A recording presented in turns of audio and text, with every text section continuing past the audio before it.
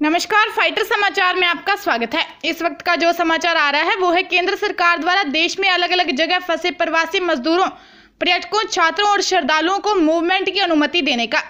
राज्यों को प्रोटोकॉल का पालन करते हुए एक दूसरे से संपर्क कर आवाजाही सुनिश्चित करनी होगी। केंद्र सरकार ने इस फैसले के बाद अब हर प्रदेश दूसरे प्रदेशों में फंसे अपने नागरिकों को वापस ला पाएगा और अपने यहाँ फंसे दूसरे प्रदेशों के नागरिकों को वहाँ भेज पाएगा।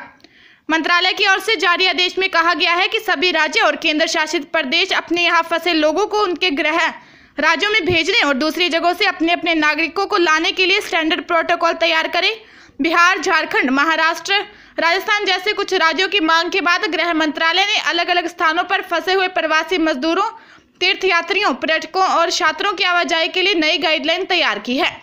राज्य और केंद्र शासित प्रदेश इस काम के लिए नोडल अथॉरिटीज नामित करेंगे और या फिर अथॉरिटीज अपने अपने यहाँ फंसे लोगों का रजिस्ट्रेशन करेगी। जिन राज्यों के बीच लोगों की आवाजाही होनी है, वहाँ की अथॉरिटीज एक दूसरे से संपर्क कर सड़क के ज़रिए लोगों की आवाजाही सुनिश्चित करेगी। जिन लोगों को अपने घर जाने की अनुमति मिलेगी, उन्हें अपने फ़ोन में आरोग्य सेतु ऐप डाउनलोड करना होगा। ताज़ा तरीन खबरों के लिए फाइटर न्यूज़ को सब्सक्राइब करें और बेल आइकन को प्रेस करें, ताकि नई न्यूज़ अपडेट होते ही आपके फ़ोन की घंटी बज जाए। Once again